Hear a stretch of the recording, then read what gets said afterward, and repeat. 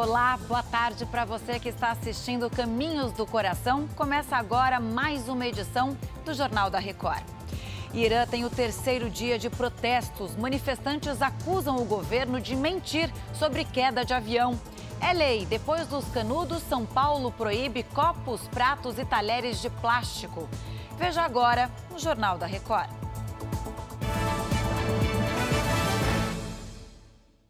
Oferecimento Agora. Investir transforma incertezas em planos. Invista com a gente.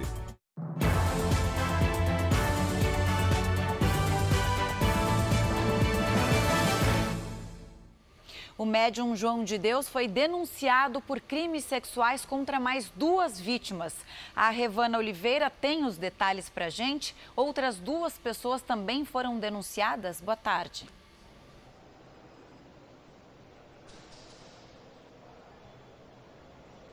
Boa tarde, Camila. Foram denunciados dois guias que faziam o transporte de fiéis para a Badiânia. Esses crimes aconteceram de janeiro de 2009 a janeiro de 2011. Esses guias vão responder pelo crime de abuso sexual, contra abuso sexual, assim como João de Deus. O médium está preso desde dezembro de 2018 e já responde, já foi condenado pelos crimes de estupro, posse ilegal de arma de fogo e corrupção de testemunhas. Camila.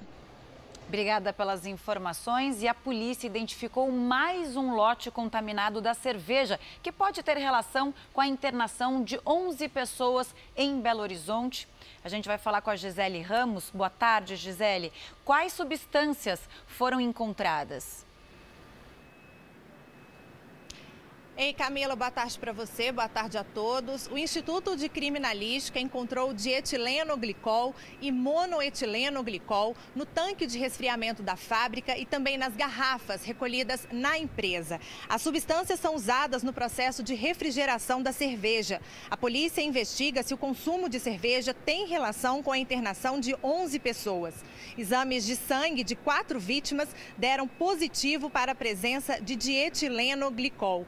Hoje, a vigilância sanitária começou a recolher as garrafas que estão nas casas dos consumidores. Camila. Obrigada.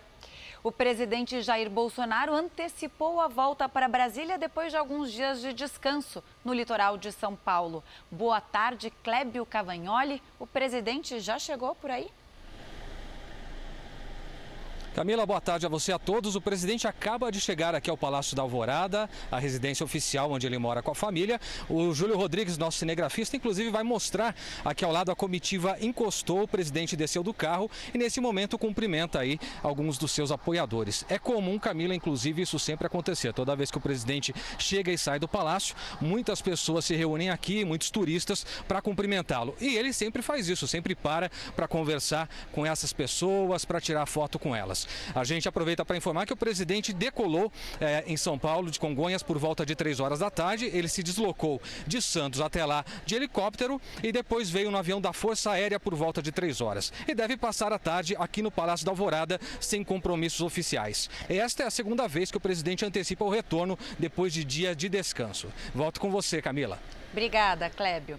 Milhares de pessoas foram às ruas no Irã no terceiro dia seguido de protestos. Herbert Moraes, muito boa noite para você. Quais as reivindicações? Boa tarde, Camila. Os iranianos pedem a renúncia do líder supremo Ali Khamenei, além é, do. chamaram de, o líder supremo de mentiroso o Irã admitiu que derrubou o avião que matou 176 pessoas por engano e diz que não está reprimindo os protestos. Mas testemunhas dizem que a polícia abriu fogo contra os manifestantes. O líder do grupo Hezbollah, Hassan Nasrallah, jurou vingança pela morte do ex-general Qasem Soleimani. Analistas temem que o grupo possa se vingar contra um ataque contra Israel. Camila. Obrigada, Herbert. O prefeito de São Paulo, Bruno Cova, sancionou a lei que proíbe estabelecimentos de fornecer utensílios plásticos descartáveis. Boa tarde, Daniela Salerno. Qual é o valor da multa em caso de descumprimento? Boa tarde, Camila. Você e a todos que nos acompanham. Olha, a multa pode variar de mil a oito mil reais, mas as penalidades não param por aí. Pode chegar, inclusive, ao fechamento dos estabelecimentos em caso de reincidência. Então, a gente está falando que agora vale o seguinte: copos, garfos, é, pratos, todo tipo de talher ou de utensílio de plástico deverá ser substituído, trocado por materiais biodegradáveis ou reutilizáveis. E essa medida vale para todo tipo de estabelecimento. Então a gente está falando de hotéis, de bares, restaurantes, padarias, inclusive clubes noturnos ou mesmo locais que alugam para festas, como festas infantis, por exemplo. Os estabelecimentos vão ter o prazo de um ano para se adequar a esta norma. Camila. Obrigada, Daniela. Boa notícia, então, para todos nós. Chega ao fim esta edição do Jornal da Record. Continue com Caminhos do Coração. Um bom fim de tarde para você. Tchau, tchau.